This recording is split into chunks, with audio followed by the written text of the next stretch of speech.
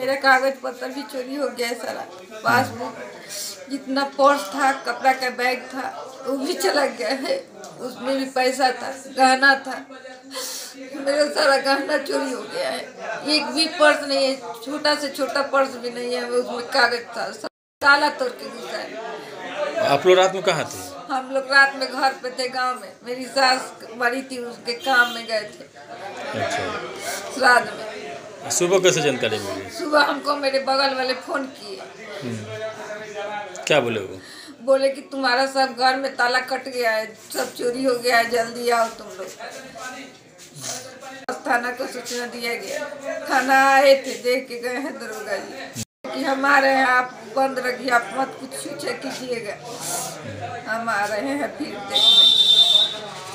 S P साहब को phone किया है